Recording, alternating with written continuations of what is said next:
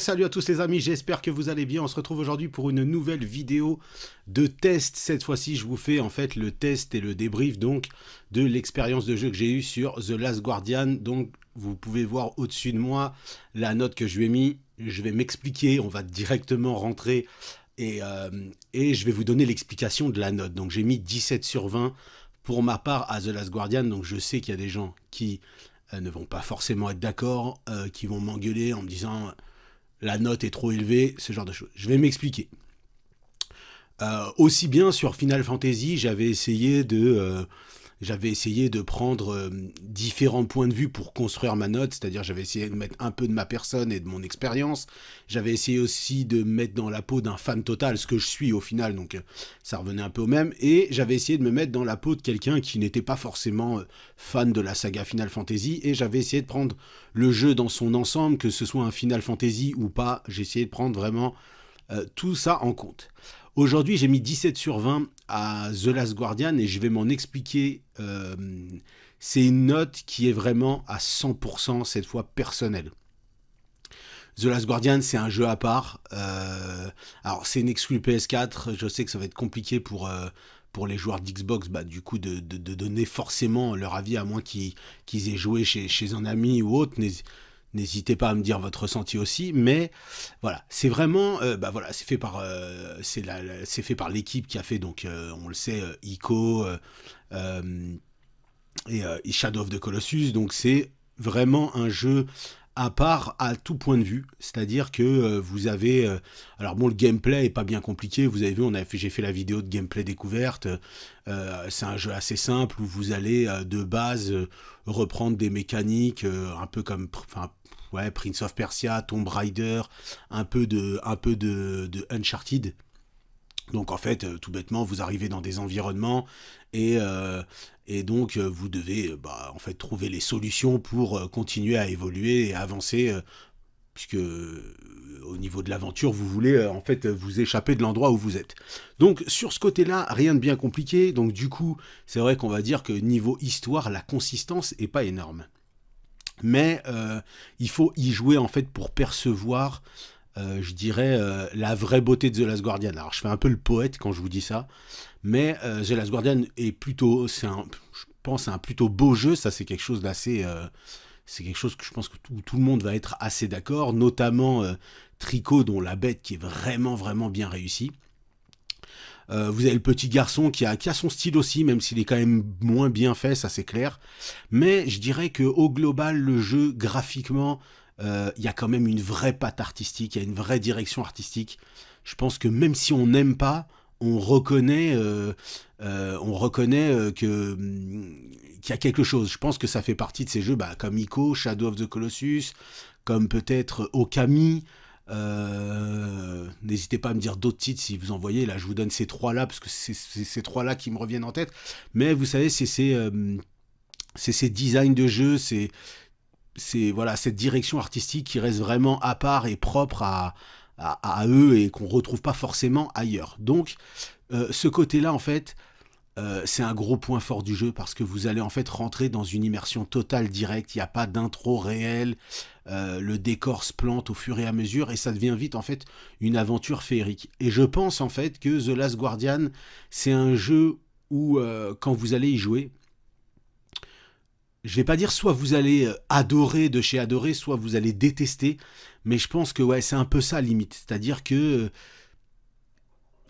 c'est pas ou tout noir ou tout blanc, mais soit ça va très vite vous saouler, parce que c'est, euh, il n'y a pas une énorme variété dans le jeu d'anglais. Soit vous n'allez pas avoir la sensibilité, il va pas vous toucher au niveau de votre sensibilité, je dis pas que vous n'avez pas de sensibilité, mais voilà, je pense que c'est vraiment une question de sensibilité, c'est-à-dire que moi j'ai adoré, il y, a le, il y a toute cette, en fait, toute cette relation qui se crée entre, entre le héros et... Euh, et la bête, en fait, entre vous et la bête, et euh, la bête, l'intelligence artificielle de la bête de Tricot est vraiment extraordinaire. Si vous avez eu des animaux de compagnie, ou si vous en avez, vous voyez vraiment des mimiques de, de ces animaux, de, de, de vrais animaux, quoi. C'est ouf. Euh, il va vous réclamer des câlins, il y a des moments où il va pas vous écouter, euh, des moments où il va vous écouter, il y a des moments où il s'énerve, il faut le calmer, euh, il faut le caresser, il faut le nourrir. Donc, je ne pas dire que c'est un Tamagotchi, mais, mais voilà, il a, sur ça, c'est vraiment un point fort réussi. Ensuite, il y a vraiment tout au long de l'aventure, vous allez créer, créer un lien. Et, on s'aperçoit vraiment que bah, vous êtes vraiment dépendant de la bête, mais mais la bête est vraiment aussi dépendante de vous. Et euh, voilà, le, déroulé de l'histoire en plus monte crescendo, on comprend les choses au fur et à mesure. Il y a un final euh, qui est, enfin, moi j'ai adoré. J'ai pas, je pas vous dire j'ai pleuré, mais euh, parce que c'est pas trop mon genre, mais Ouais, c'est un, euh, un, jeu où vous vous attachez réellement au personnage, et ça aujourd'hui je trouve que c'est assez difficile dans le jeu vidéo, on a du mal. En tout cas, moi je peux vous dire que personnellement j'ai mis 17 sur 20. Alors, la note est critiquable parce que beaucoup vont me dire non, attends, euh, yo, euh, 17, euh, t'abuses, il y a des jeux auxquels on met pas 17 et je les trouve mieux que The Last Guardian, c'est possible. Mais je vais vous dire honnêtement, The Last Guardian, c'est un jeu qui m'a vraiment touché et ça fait longtemps que euh, voilà, un jeu m'a pas fait kiffer, un jeu m'a pas touché. Donc euh, aujourd'hui, honnêtement, depuis la sortie des nouvelles consoles, donc PS4, One, voire Wii U, on pourrait dire la Wii U, mais bon, voilà, laisser de côté parce que je pense pas qu'il y ait un jeu qui va toucher sur Wii U, vous vous en doutez. Il y a des jeux que j'ai adorés, mais il n'y a pas beaucoup de jeux qui, m'ont vraiment fait kiffer. Pourtant, je suis un grand fan de Final Fantasy. Il y a eu FF15 qui est sorti. Euh, je suis un grand, grand fan de Metal Gear Solid. Il y a eu, euh, il y a eu MG5 qui est sorti. Donc j'ai adoré jouer à Final Fantasy XV. J'ai adoré jouer à Metal Gear Solid 5. Euh, mais très sincèrement, c'est pas des jeux qui m'ont c'est des jeux que j'ai aimés, que j'ai bien kiffé, mais ils m'ont pas touché, m'ont pas marqué réellement. Le seul que je peux, je peux mettre, c'est-à-dire le vrai jeu, mon vrai kiff de, de, de, la nouvelle génération de consoles, c'est The Witcher 3. C'est The Witcher 3, euh, voilà, pour moi, c'est The jeu de, pour l'instant de ces nouvelles consoles. Je m'égare un petit peu, je reviens, c'est pour vous dire que voilà, le deuxième jeu aujourd'hui, je peux le dire de façon franche, c'est The Last Guardian. Je pourrais faire un test de 30 ou 40 minutes, on pourra en débattre très longtemps.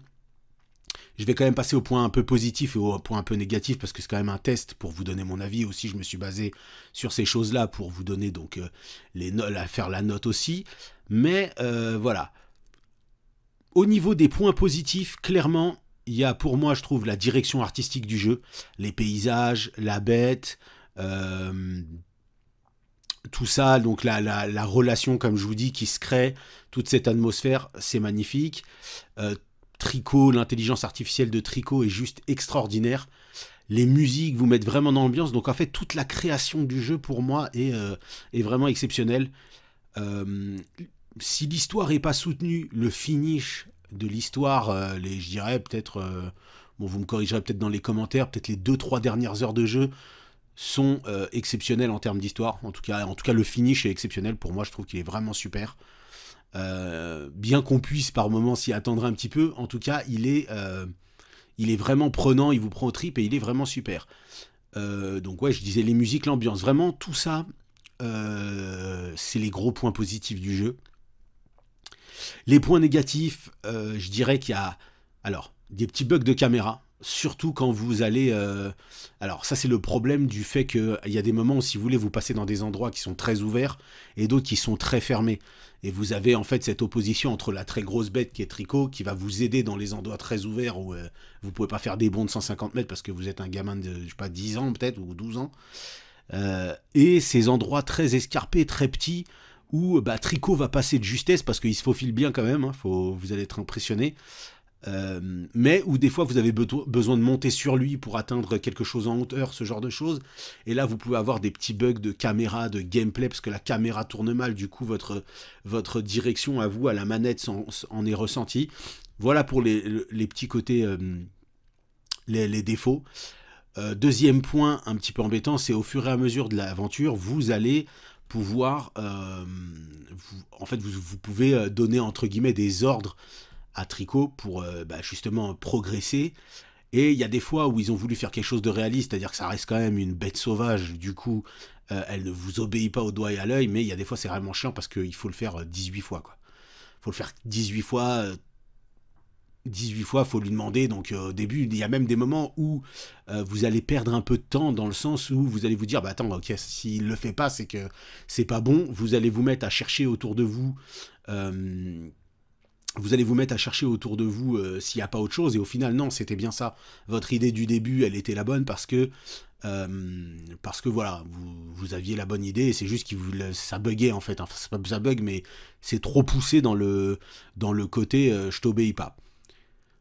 Ça me permet de faire une bonne transition sur le, le, jeu en lui-même. Alors, je dirais que vous êtes, moi, j'ai été pris dans l'ambiance et dans et dans le, ouais, dans l'ambiance du jeu, comme je vous dis.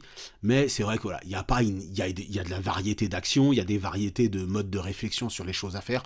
Le jeu, en gros, euh, est pas hyper long.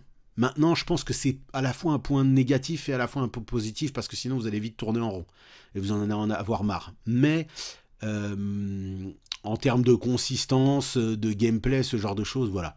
C'est vrai que ça peut saouler les gens parce que vous allez vite faire euh, les mêmes choses. Il y a moins de variété dans le, dans le gameplay que d'autres jeux d'action. Euh, voilà, ça c'est un petit côté peut-être un peu négatif. Qu'est-ce que je pourrais vous donner d'autre comme côté négatif euh, Non, je vois que ça. Voilà. Donc en fait, le truc, c'est que le meilleur conseil que je peux donner sur The Last Guardian, malheureusement en fait, c'est que personnellement, je pense qu'il fait partie de ces rares jeux où euh, on peut essayer de donner une note, je vais dire générique, entre guillemets, mais elle serait fausse. Personnellement, je pense que euh, The Last Guardian, c'est un jeu vraiment à part, c'est un type de jeu à part. Il faut y jouer manette en main. Il faut finir le jeu. Vous devez aller de A à Z. Prenez, euh, sais pas, le volume d'heures de jeu que vous faites en semaine ou en mois. Mais The Last Guardian, c'est un jeu auquel il faut jouer. C'est un jeu euh, où il faut vous faire votre propre expérience, surtout, surtout, à mon avis. Prenez les avis des uns et des autres pour voir si vous voulez sauter le pas et y jouer, mais euh, ne vous faites pas un avis définitif calqué sur l'avis des autres. Peut-être que moi, je peux vous dire que c'est un jeu qui m'a transporté, mais je suis tout à fait conscient que c'est possible que euh, mon voisin me dise euh, moi c'est pas du tout mon style. Oui le jeu il est sympa il est beau. C'est vrai que le délire avec la bête est pas mal mais euh, au final au bout de trois heures de jeu je fais les mêmes choses euh, je fais les mêmes choses ça devient trop répétitif il n'y a pas assez d'action ça bouge pas il n'y a pas de narration voilà. Donc ça veut dire que cette personne là n'aura pas été touchée au niveau de sa sensibilité à lui il n'aura pas été touché par The Last Guardian. Moi, j'ai été touché, donc j'ai mis cette note de 17 sur 20. Euh, voilà. Bah, pour le coup, j'attends vraiment euh, vos commentaires. Je ne sais pas quoi vous dire de plus. Je vous dis, c'est vraiment un jeu compliqué. Je vous donne vraiment, pour le coup, c'est vraiment mon ressenti personnel. Euh, J'essayais de vous donner donc des points positifs et aussi quand même des points négatifs parce qu'il y en a dans le jeu, hein, bien évidemment. Mais voilà, moi au global, j'ai vécu une expérience vraiment unique, vraiment super que j'ai adoré. du coup, voilà, j'ai mis une grosse note au jeu, donc ne m'engueulez pas dans les commentaires, entre guillemets, euh, sur cette note. Moi, ce que j'attends vraiment sur cette vidéo, c'est que vous, bah, si vous avez fait le jeu, vous verrez, à mon avis, hein, si vous observez, si vous commentez cette vidéo, je pense que vous verrez que euh, on va avoir des commentaires... Euh, ouais yo, d'accord avec toi, j'aurais peut-être pas mis 17, peut-être qu'il y a des gens qui vont mettre 19, d'autres qui vont dire ouais yo, bon, je suis d'accord avec toi, mais j'aurais mis 16. Mais voyez qu'il y a des gens qui vont dire ouais yo, mais mec, eh, qu'est-ce qui se passe? Tu t'es frappé la tête contre un mur. 17 sur 20, je lui mets 13 au jeu, il m'a gavé au bout de 4 heures. C'est tout à fait possible. Donc, je compte sur vous. Si vous avez joué à The Last Guardian, euh, bah, n'hésitez pas. Bah, laissez des commentaires aussi si vous n'avez pas joué, bien évidemment. Mais n'hésitez pas à me donner à vous votre avis. Est-ce que vous êtes plutôt bah, justement quelqu'un qui a été touché par The Last Guardian ou bah non, vous, ça vous avez pas tellement accroché ou bah, vous avez trouvé ça sympa mais sans plus. Écoutez, j'espère que cette vidéo vous aura plu. À l'avenir, j'essaierai de vous faire euh, des tests un peu plus souvent, un peu plus rapidement après les sorties de jeu. Mais moi, j'aime bien faire un test quand j'ai fini ou quasi fini un jeu. J'aime pas vous balancer euh, un test alors que je connais pas bien le jeu. Euh, voilà. J'espère encore une fois, je vais pas aller trop loin dans la vidéo, qu'elle vous aura plu. Je vous dis à très vite pour plein d'autres vidéos. Allez, ciao ciao